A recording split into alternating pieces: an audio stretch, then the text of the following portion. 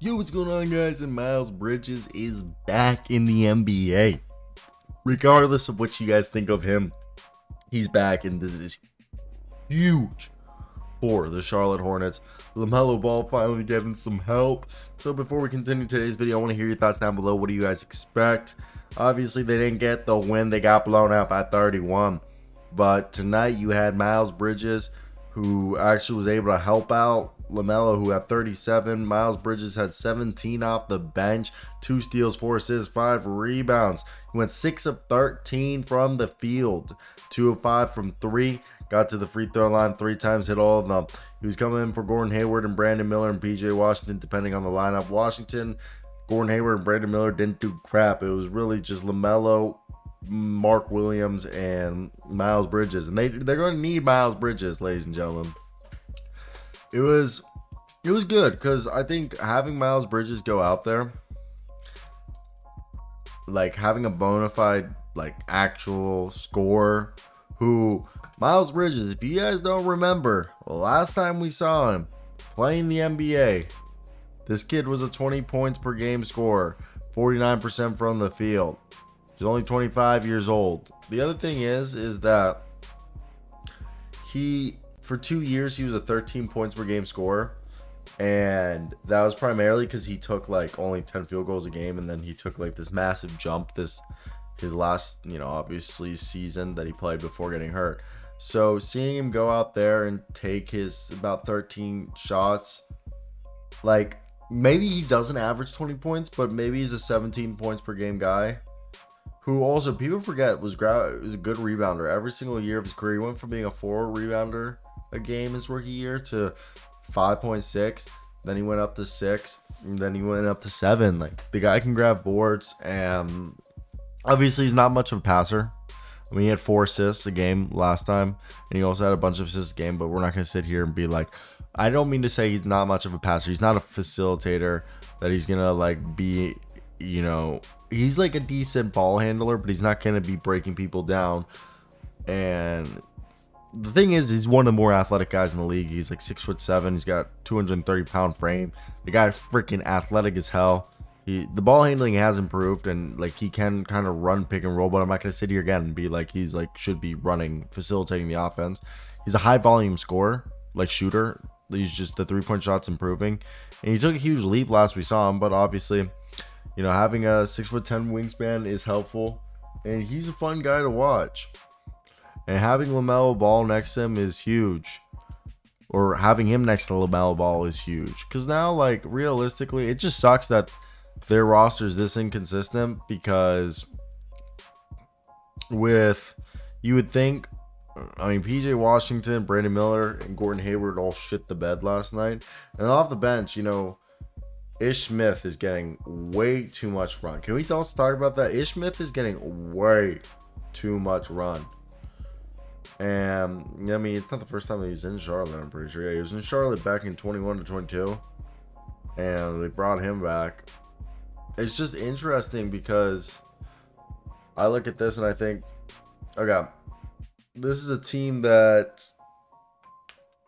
they're trying to be more than a play-in team. I mean, they fired James Borrego for being a play-in team and not making the progress or like the jump that quick enough that they wanted. So if they're gonna it's interesting to see where they're going to be at now with their current squad. But I don't know. That's definitely where I want to hear your guys' opinions. How much or how much entertainment has this NBA season given you?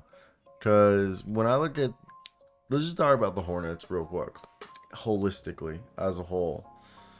What do we think of this team? Because, ooh, it's it's interesting because I sit here and I think, hmm, what what could be, and not that I say what could be, but like I'm I get curious, like in terms this team's supposed to be a play-in team, but you come on, Steve Clifford, Steve Clifford, ladies and gentlemen. Is that going to be enough? Seriously, can that be enough? And watch, I'm going to run over and be right back, and you guys aren't even going to notice.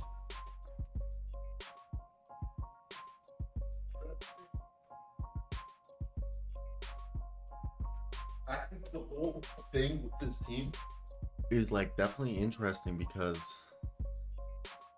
uh, oh, JT Thor, like they don't have a bench. Okay. The roster currently, LaMelo, Terry Rozier, Gordon Hayward, PJ Washington, LaMelo, Terry Rozier, PJ Washington, Gordon Hayward, Brandon Miller, Miles Bridges, Mark Williams, Nick Richards. I mean, that's not a bad eight man rotation. Then you throw in the ninth guy, Ish Smith. I'm fine with that. What do I think of that team? They're like a play in team, right? I can't see them being better than that. Like, we're lying. They're not particularly great defensively. They're not particularly great shooting. Like, it's just such a hodgepodge of players that I can't sit here and give you a straight face and be like, oh, this is going to work. Because to me, um, I don't see it. And maybe I'm wrong. But I definitely look at it and it's definitely frustrating to see or doesn't make sense to why they I personally I mean this this year it's just so feels like we're wasting LaMelo's youth. I know LaMelo hasn't translated to wins, but he's a decent basketball player. He's got skill. But Miles Bridges being out there and like winning and like not winning, but like looking like physically in shape to play basketball and playing well. He got a standing ovation. He hit some mid-range jumpers. It's good. It's good to see that. I'm I'm happy. I'm enjoying it. And I think it goes to show that he kept in shape. You know, hopefully that season isn't a fluke. Hopefully he doesn't fall back down to being like this 13 points per game guy. I think there's a lot of room for him to be a great player.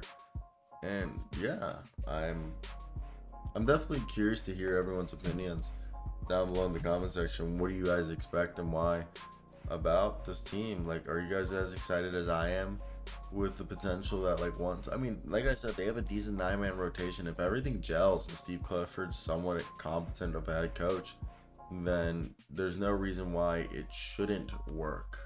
Right? At least be a play-in team. That's where they were last time Miles Bridges was on this roster. And I feel like the team's technically a bit better since then. I wouldn't sit here and be like, oh, that's 100% true. But what I do believe is that this team has room to grow.